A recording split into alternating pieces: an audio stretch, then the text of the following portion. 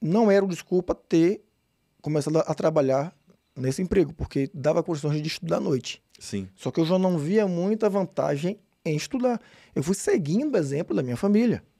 Eu tinha lá oito irmãos, Pra, claro que nem todos pararam de estudar, mas muitos deles abandonaram a escola. Sim, era, era Então, normal, né? era Antigamente normal era mim, normal a pessoa tá? parar.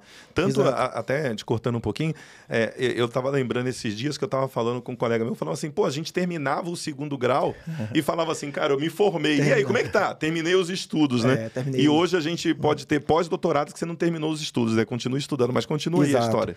E o interessante é o seguinte, porque eu não, eu não tinha mais é, dentro de casa minha mãe e meu pai. Meu pai se separou da minha mãe e eu já estava morando sozinho praticamente. Então eu não tinha cobrança para ninguém dizer, vá, vá para a escola. Sim, Já não tinha antes, né? Porque meus pais não tiveram essa, essa, esse modelo de, de, de vida, né? Dizer, tem que estudar, né? É ter- tem que trabalhar. E aí, quando eu voltei para estudar, eu tava me sentindo um, um Zé Ninguém. Aquela pessoa que não tinha valor nenhum. sim. O que aparecesse um dia para trabalhar, eu trabalhava. Autoestima muito baixa, né? Muito baixa, muito baixa. Eu, eu cheguei a uma época bem complicada mesmo, de ficar muito. Eu não vou dizer que foi depressão, porque eu não, não conheço depressão, mas eu fiquei num Sim. estado de tristeza muito grande que eu não saía de casa. O cabelo crescia mais de meses sem cortar. E lendo, lendo muito, eu, eu, eu descontava tudo nos livros que eu tinha. E alguns livros, inclusive, que eu achava na rua ou que alguém descartava, eu pegava e em casa. Sim. E aí, é, depois desse tempo, eu, eu voltei a estudar.